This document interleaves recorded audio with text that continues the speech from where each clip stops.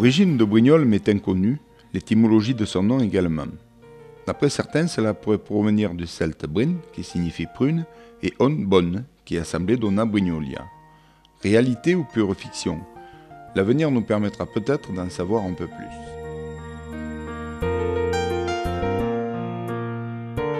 Dans les environs de Brignoles ont été découverts quatre dolmens. Des vestiges trouvés à proximité de celui situé au nord de la ville permis une datation approximative sur une période allant du calgolithique récent au bronze ancien. Le sarcophage de la Gaillole déposé au musée de Brignoles aurait été conçu vers le IIIe siècle, puis importé d'Italie pour servir de sépulture à une riche famille vers le 5e siècle.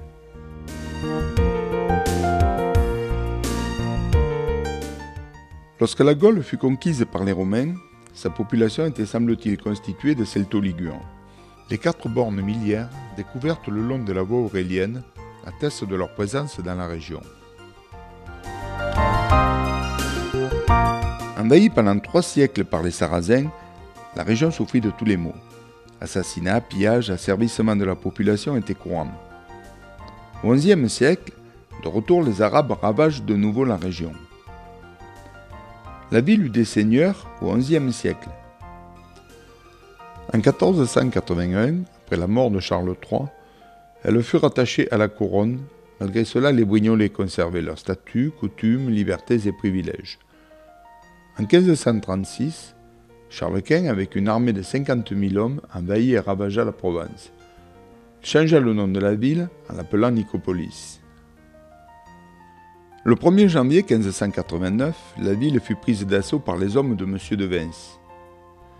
Pillages et massacres recommencèrent. Le 21 février 1790 fut nommé le premier maire d'une nouvelle constitution.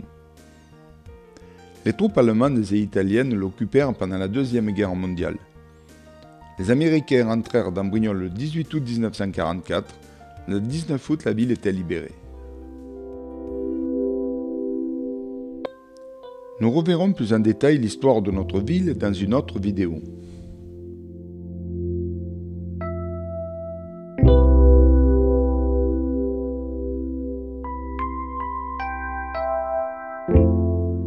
Fièrement campé sur les hauteurs de la ville, le vieux Brignoles compte parmi les plus beaux sites du centre-Var.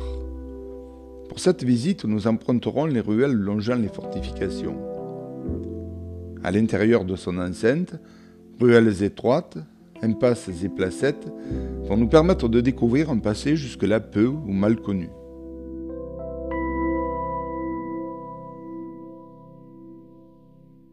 L'exception confirmant la règle, c'est par la place Carami que va commencer la visite. On ignore quand la place Carami fut établie. Une légende prétend qu'à ses pieds coulait la rivière du même nom. En 1791, elle servait de place du marché. En 1793, elle devint pour une courte durée place de la Révolution. C'est dans le bar L'Univers qu'en 1889 brilla pour la première fois l'éclairage électrique à Brignoles. Si je dis 14 juillet 1789, vous pensez immédiatement prise de la Bastille. C'est aussi la date d'acquisition par la ville de Brignoles du bâtiment servant aujourd'hui d'hôtel de ville. Une fontaine y fut installée en 1775. C'est lors d'une restauration faite en 1824 que furent rajoutés deux vasques. Quatre têtes de lion en marbre blanc remplacent également les dauphins détériorés par le temps.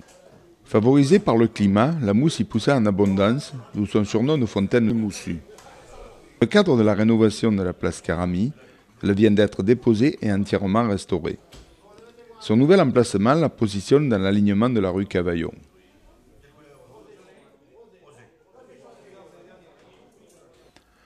Un gros ormeau, plusieurs fois centenaire, y poussait. En 1820, il existait en son centre une petite construction servant de boutique à un cordonnier. Il fut abattu en 1882. Situé à proximité de l'hôtel de ville, l'ancien logis de la Fleur de Lys logea de nombreux personnages célèbres. François Ier y séjourna en 1538, du 20 au 26 mai. Louis XIV apprécia si bien le logis lors de son passage le 20 février 1660 qu'il fit l'aller-retour Brignoles-Cotignac dans la journée du lendemain pour y séjourner encore une nuit. Pour rendre plus agréable son séjour, une porte avait été ouverte entre l'actuelle mairie et le logis. Le comte d'Alais, nommé gouverneur de Provence, y passa l'été 1638. De nombreuses salles de cinéma y furent installées. C'est en 1911 que le premier film muet fut projeté au premier étage du Café du Globe. Le 31 octobre 1931, le premier film parlant, Marion Lay, est diffusé place Carami. Plus tard, le Rex et le Palace feront le bonheur des cinéphiles.